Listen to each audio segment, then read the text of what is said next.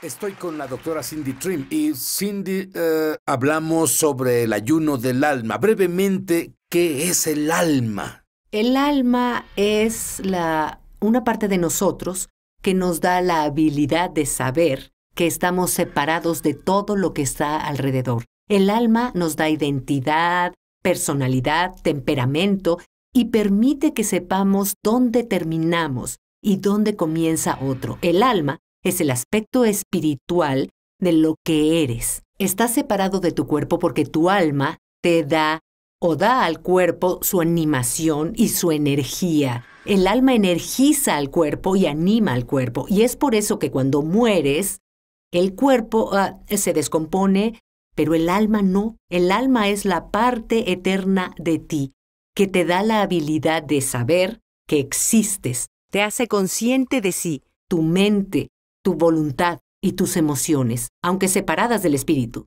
Muy bien.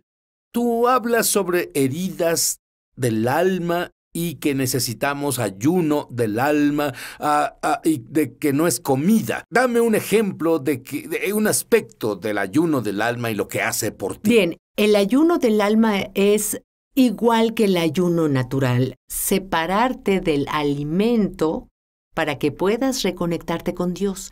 El ayuno del alma es darte una oportunidad de conectarte a Dios, para que Él pueda sanarte de cualquier cosa que contamine tu espíritu, toxinas causando toxicidad en tu alma. Y es como desintoxicar y descontaminar tu alma de recuerdos y heridas y penas que en realidad debes superar, que sabotean el progreso, el futuro, la felicidad, la vida en Dios. ¿Y sabes qué descubrí?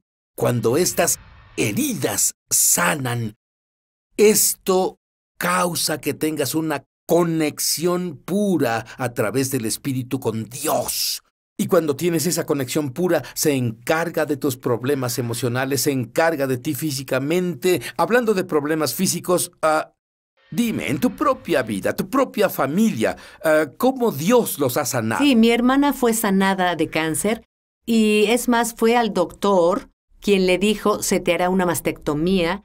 Y le dije a ella, oye, no te preocupes, he orado por ti. Exámenes. Volvió con el doctor, había, no había señal del cáncer. Gracias, Señor. Yo fui sanada, mi madre fue sanada. ¿De qué has sanado Yo tú? fui Dime. sanada de... Fui al doctor, me sentía débil y mi conteo sanguíneo bajó hasta nivel 3.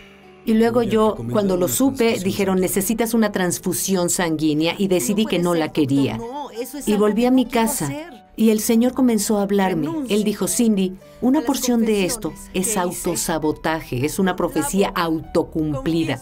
Hice una afirmación hace tiempo, no sabía que afectaba mi salud. Pero una vez que renuncié a la afirmación que hice sobre mi vida y volví con el doctor, mi conteo sanguíneo fue de Tu 3 sangre es directo a 12, sin una transfusión sanguínea. Las palabras son muy, muy importantes. Las palabras afectan lo que dices con tu propia boca. Tu cuerpo lo cree. Y las palabras que las personas hablan sobre ti. Ah, ah, ¿Qué haces con eso? No puedes, porque puedes hacer algo con lo que tú dices, pero ¿qué haces sobre lo que las personas dicen de ti? Tú no, tú no.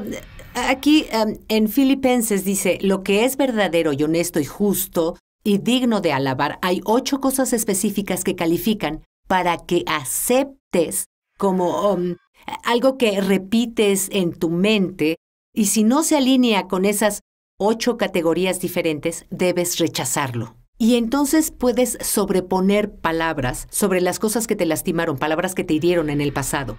Tú decretarás una cosa y quedará establecida. La vida y la muerte están en el poder de la lengua y debemos creer esas cosas. Por fe entendemos que los mundos fueron enmarcados por la palabra de Dios. Un marco hace una pintura ah, valiosa o la devalúa y le damos valor a la vida o devaluamos la vida por las palabras que expresamos. Las palabras no desaparecen, no se disipan. Las palabras tienen poder, presencia, Solo implicaciones nosotros. proféticas. Sol- solo porque dices algo y decides, está hecho, lo dije. no Ah, ah, desaparece. ah, Lo que Cindy dice es que en el mundo invisible, ahí sigue. Sí, porque Oseas dijo, porque sembraron vientos, segarán tempestades. Y si una persona pone su mano frente a su boca, puede sentir el viento salir de la boca. Y eso afecta algo en, eh, incluso en la atmósfera. Hay científicos que apoyan lo que decimos. Se es- llama el efecto mariposa. Dicen que el flujo del viento en California afecta la corriente en China.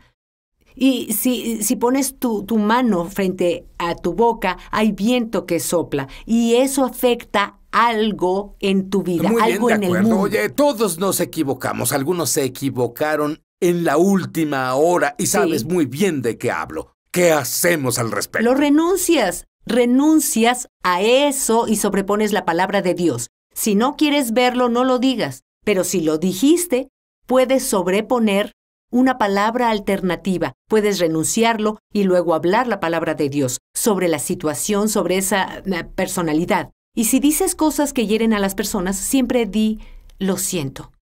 Ahora, no es lo que comes lo que te afecta. La cuestión es qué te come a ti.